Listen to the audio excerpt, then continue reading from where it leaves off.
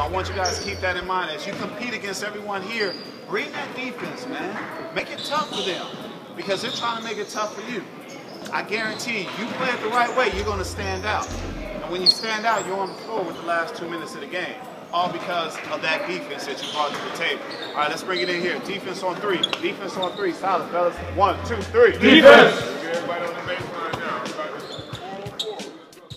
Hey guys, and welcome back to Believe the Hype. Benyam Kadane here at the Basketball Without Borders Camp Asia in Melbourne. I'm here with three-time NBA champion Bruce Bowen. How you doing? I'm doing good. I'm doing good. Now I see you out here running these defensive drills with these kids. You're probably the best person on earth to be running that with. Well, I, I wouldn't say that, but it's it's part of the game, and I just try to allow the kids to understand that yes, it's great. The offense is great, that wins games, but the defense that wins championships. And you know, guys like Kobe Bryant have kind of spoken about you know the development at this stage in kids' you know basketball lives that this needs to be more of a priority. You know, getting your positioning right, your footwork, and your defense. I mean, what are the main things that you want these kids to, to go away with? Well, it's more than anything else. It's the basic principles and the fundamentals of the game.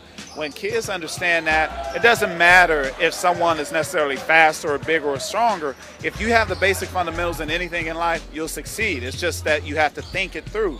So now you get all these different things that they can take to their other countries and continue the process of showing what they've learned, but also bettering their skill work as well.